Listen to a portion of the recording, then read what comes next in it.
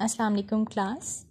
In today's lesson, I'm going to give you further guidelines for writing a cover letter.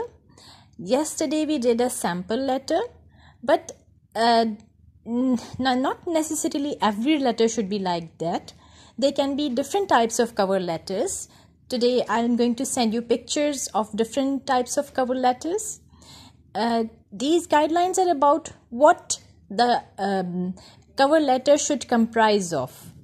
Number one is identify the newspaper, person, or source from which you learned about the position.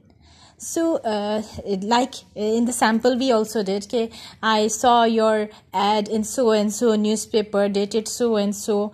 Um, uh, so, you have to mention this. Um, and then you have to specify what job you seek and briefly describe your major qualifications for the position.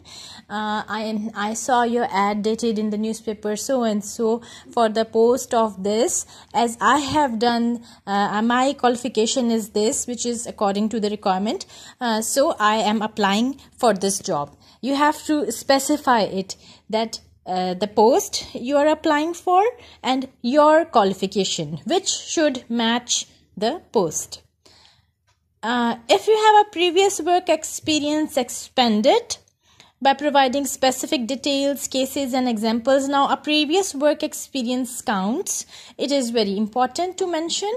Uh, however, um, if you're writing a real life CV, if you don't have a real life experience, of course, you will omit this point. But as you're writing uh, CVs from for exam from from exam point of view, there is often um, I mentioned in the advertisement two years or five years experience required.